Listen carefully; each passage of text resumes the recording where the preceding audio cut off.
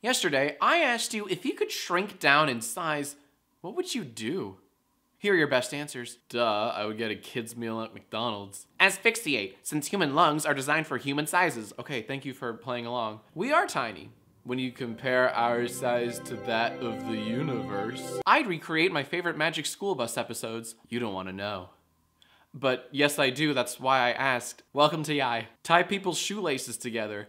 You can do that normal sized, you know. I can't go any tinier. My girlfriend isn't happy already. Oh, I'm sorry, buddy. See how my mouses live. I don't know, sorry. Go hang out with my Hot Wheels collection so I feel rich. Literally swim.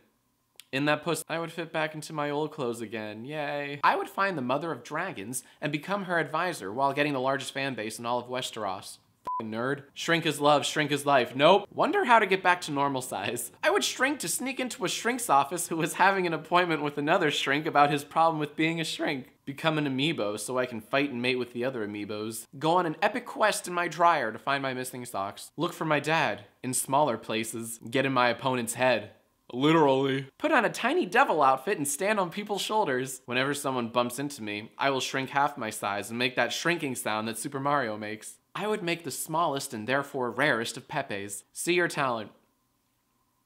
Touche? I don't want to be shrinked. Thanks. and finally, I know what I wouldn't do. Here's tomorrow's question. What's the coolest thing to say while walking away from an explosion? Leave your answers in